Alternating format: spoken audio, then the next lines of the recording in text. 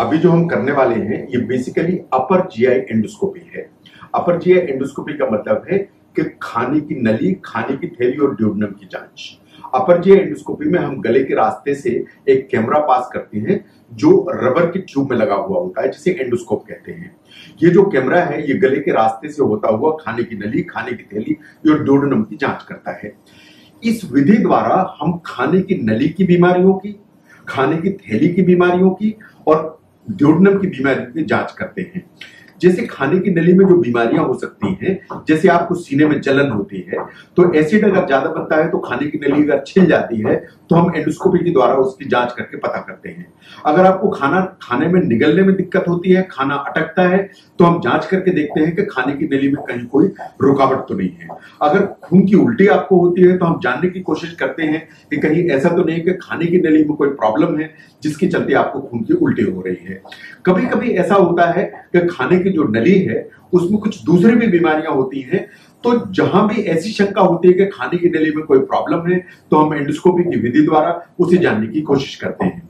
Number दो, जो खाने की थैली की बीमारियाँ हैं, चाहे वो अल्सर जैसी बीमारियाँ हो, चाहे वो कैंसर जैसी बीमारियाँ हो, चाहे वो खाने की नली सिकुड़ गई हो, चाहे खाने की जो थैली है, उसके आगे के हिस्से में कोई रुकावट आ गई हो, या आपको खाने की थैली में बीमारियों के चलते खून की उल्टी हो रही हो, इन सबको जानने के लिए हम अपर जिया एंडोस्कोपी जैसी विधि का इस्तेमाल करते हैं।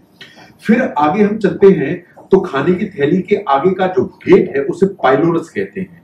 पाइलोरस के आगे का जो पोर्शन है, वो बेसिकली ड्योडनम है। जो ड्योडनम की बीमारियाँ हैं, जैसे ड्योडनल अल्सर या ड्योडनल एंगल स्टिनोसिस या सेकंड पार्ट में कोई कैंसर या ग्रोथ इनको जानने के लिए भी हम अपर जीआई एंडोस्कोपी का इस्तेमाल करते हैं। तो बेसिकली जो एंडोस्कोपी की विधि जो कॉमनली कही जाती है या अपर जीआई एंडोस्कोपी होती है, ये बेसिकली खाने की नली, खाने की थैली और जोडनम की बीमारियों को पकड़ने में हमारी मदद करती है। जैसा मैंने एक बार और भी पहले कहा था ये जो अपरजय एंडोस्कोपी होती है, दो तरह की होती है।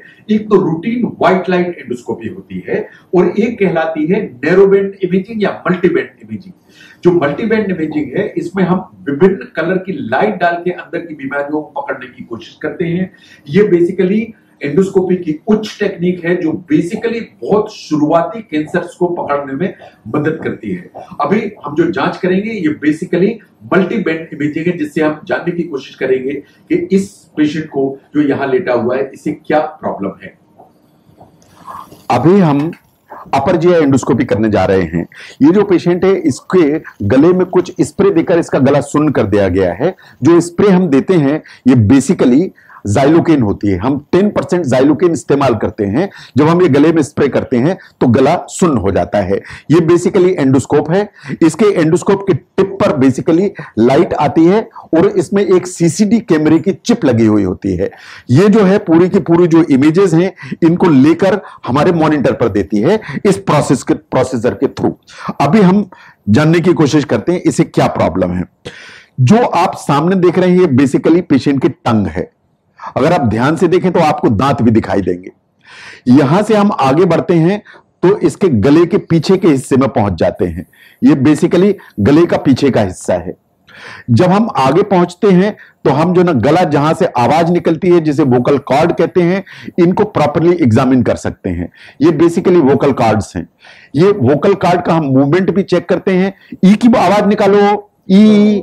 ये देखो ये हम आवाज़ निकाल के ये चेक कर सकते हैं कि वोकल कार्ड का जो मूवमेंट है वो प्रॉपर है कि नहीं। यहाँ से आगे जब हम बढ़ते हैं तो वोकल कार्ड और लेरेंजियल एपरेटस के पीछे से होते हुए हम खाने की नली में चले जाते हैं। एक पानी का घूंट भरो। ये जैसे ही जो ये पानी का घूंट भरते हैं ये देखो हम खाने की नली में पहुँच जाते हैं। आराम से लंबी सांस लो शरीर को ढीला छोड़ो। ये हमारे सामने खाने की नली आ जाती है। ये खाने की नली में हम धीरे धीरे जो ना आगे बढ़ते चले जाते हैं। ये देखिए, आपको जो ना यहाँ पे कुछ पल्सेशंस दिखाई दे रहे हैं। ये बेसिकली हार्ट के पल्सेशंस हैं जो आपके खाने की नली में आ जाते हैं। जब हम इससे आगे चलते हैं तो खाने की नली के बिल्कुल आखिरी हिस्से में पहुँच जाते हैं। ये खाने की नली का आखिरी हिस्सा है। इस खाने की नली के आखिरी हिस्से से होते हुए हम खाने की थैली में पहुँच जाते हैं। ये स्टमक है बेसिकली यह खाने की थैली है। ये खाने की थैली में को हम प्रॉपरली एग्जामिन करते हुए आगे बढ़ जाते हैं एंड आगे बढ़ के हम उस एरिया में पहुँच जाते हैं जो ड्योडनम में जाता है। जैसा मैंने पहले कहा, इस एरिया को पाइलोरस कहते हैं। ये अभी, ये देखिए पाइलोरस में से मैं पास करके आगे पहुँच जाता हूँ। ये देखिए, ये बेसिकली पाइलोरस है।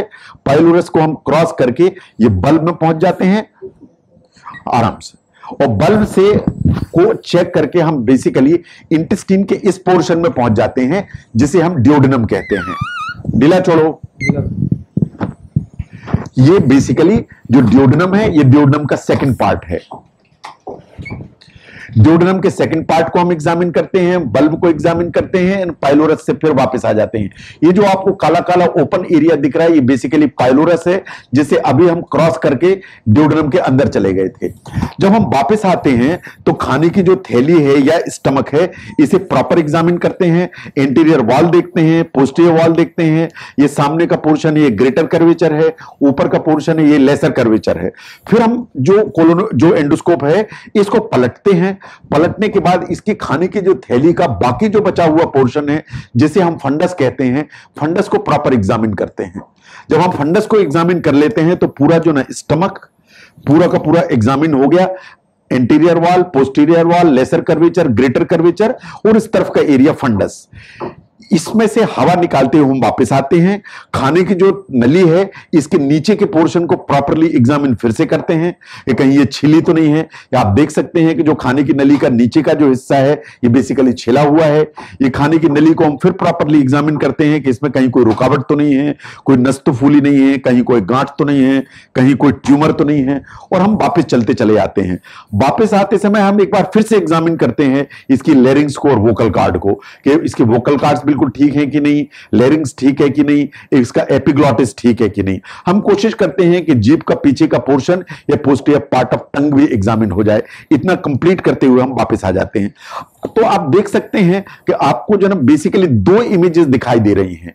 जो लेफ़्ट साइड की बड़ी इमेज है, वो नॉर्मल व्हाइट लाइट इमेज है, और जो राइट right साइड में इमेज दिखाई दे रही है बेसिकली ये मल्टीबेंड इमेजिंग है, जो अर्ली कैंसर्स को पकड़ने में मदद करती है। आपने देखा होगा कि पूरी की पूरी जो एंडोस्कोपी की विधि है, हमें किसी भी एनेस्थेसिया की आवश्यकता नहीं होती है। सिर्फ़ गले को अगर हम सुन्न करते हैं तो हमारे एग्जामिनेशन का काम कंफर्टेबली पूरा हो जाता है। नंबर तीन, जो पूरी की पूरी जो प्रक्रिया है, इसमें तीन से चार मिनट का टाइम लगता है at the most to conduct a complete upper J endoscopy एक बार हम एंडोस्कोपी करते हैं तो जो गला सुन्न है, वो करीब करीब 15 से 20 मिनट में पूरी तरह से ठीक हो जाता है। ये जो पेशेंट्स हैं, ये 30 मिनट बाद कुछ भी खा सकते हैं। 30 मिनट के बाद ये कुछ भी काम कर सकते हैं, अपना ऑफ़िस जा सकते हैं, अपने घर जा सकते हैं, गाड़ी चला सकते हैं, क्योंकि किसी भी तरह का कोई एनेस्थीसिया नहीं दिया गया है और जो गले में सुन्न करने की दवाई दी जाती है, उसका बीस मिनट में अपने आप पूरा का पूरा जो इफ़ेक्ट है, वो खत्म हो जाता है। तो इस प्रकार अगर आप देखें तो जो एंडोस्कोपी की जो विधि है, उसमें तीन तरह के जो इंस्ट्रूमेंट्स हैं, वो यूज़ होते हैं। ये जो पूरा इंस्ट्रूमेंट मेरे हाथ में है, ये बेसिकली एंडोस्कोप है। जो एंडोस्कोप है, ये बेसिकली इसकी एनएस यूनिट है, जिसमें कि लाइट लगी होती है और कैमरा लगा होता है। ये बेसिकली इमेजेस को लेता है। ये इमेजेस इसमें होती हुई यहाँ से जाती हैं, जो इस प्रोसेसर में चली जाती हैं। जो प्रोसेसर है, उन इमेजेस को बेसिकली प्रॉपर उसमें करके ये हमारे मॉनिटर पे कर देता है। और जब ये मॉनिटर पे कर देता है तो यहाँ से जो इमेजेस हैं, वो हम अपने कंप्यूटर में ग्रैप करते हुए चले जाते हैं।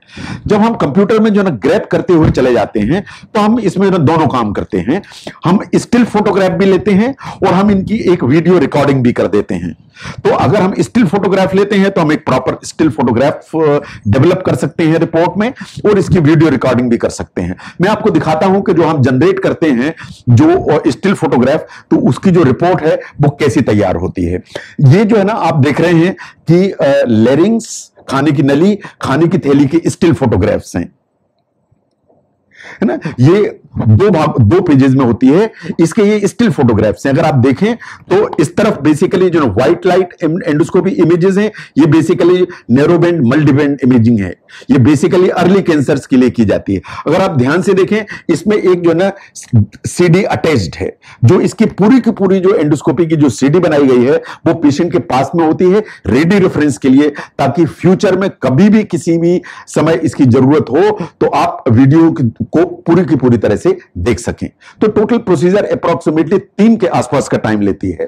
कभी कभी ऐसा होता है कि जैसे कोई इंफेक्शन होते हैं तो हम खाने की थैली से कुछ टुकड़े भी निकालते हैं जाँच के लिए। जैसे आपने देखा होगा, ये यहाँ पे एक चीज़ लगी हुई है। ये बेसिकली रैपिड यूरियस टेस्ट कहलाता है।